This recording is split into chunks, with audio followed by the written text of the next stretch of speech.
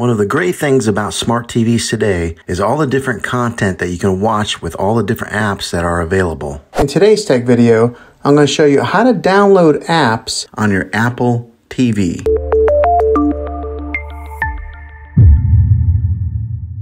After I show you how to get apps on your TV, I will tell you about four recommended apps that you might want to check out that'll give you free movies and TV shows. Okay, the first thing that you want to do is scroll down in your apps until you see the App Store icon, then click on it. From here, you'll be able to use a trackpad on your Apple TV remote to scroll left and right, uh, tapping letters to spell out the app that you're looking for. You can also choose to enter in the text on your iPhone keyboard by pressing the microphone icon on your Siri remote and doing a voice search. Next, once the app comes up in the options, click on it. Next, you'll see an app description and a price. If, if you decide you'd like to download the app, click on buy. If the app is free, click on get. You may be asked to enter in your Apple ID password to complete this process. Once the app is downloaded, click on open to open the app. Next, you'll be able to find your apps, including recent purchases and updates by clicking on the purchase Purchase tab in the top menu of the App Store. Here are a few apps that you might want to download. The first app is called Locast. This is great for getting some local TV channels to your TV without paying for cable or using a TV antenna. Three more free apps to download and check out are Xumo, Tubi TV,